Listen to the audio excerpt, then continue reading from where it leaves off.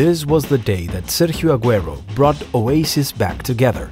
In 2017, Kun Agüero became Manchester City's all-time top scorer with 178 goals for the citizens. Agüero arrived at the English team in 2011. In his first season, he scored 30 goals in 48 games. He was the Premier League's top scorer for the 2014-2015 season, and he just kept on scoring goals over the years, and by 2017, he had already surpassed English forward Eric Brook, the club's leading goal scorer of all time up to that point. Agüero made history. After achieving the record, the striker received a very special gift. City TV surprised the Argentinian with some greetings. First, from his great teammate at the club, Pablo Zabaleta, then from his long life friend, Leo Messi. Hola chaval, bueno, quiero felicitarte por este, este récord. Me alegro mucho por vos, te lo y bueno, seguí, que sea mucho más y dejar lo más alto que pueda. Sabes que te quiero mucho y te deseo lo mejor. But it didn't stop there, as then came the greeting from two music legends. Noel and Liam Gallagher dedicated a song to the Argent Manchester City fans, and Agüero is one of their idols. The citizens love Sergio.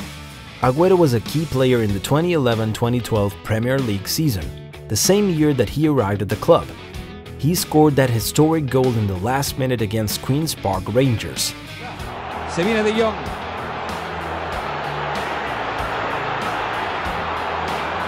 Agüero. Vamos con una. Balotelli.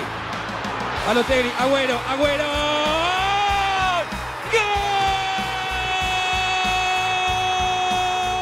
Manchester City won the Premier League again after 44 years.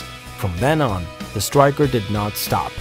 He won five English leagues, one FA Cup, three Community Shields, and six English Football League Cup.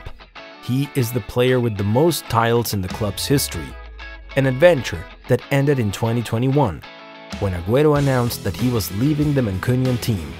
His farewell was memorable.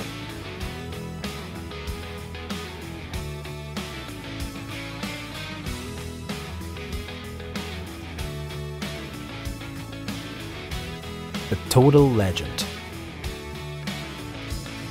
El impacto de, de Sergio Agüero eh, a nivel futbolístico en el Manchester City sobre todo y en la selección argentina creo que tiene que ver con dos ejes muy importantes en cuanto a lo técnico y lo táctico. Creo que Agüero supo reunir las dos virtudes que destacan el continente europeo y el continente sudamericano.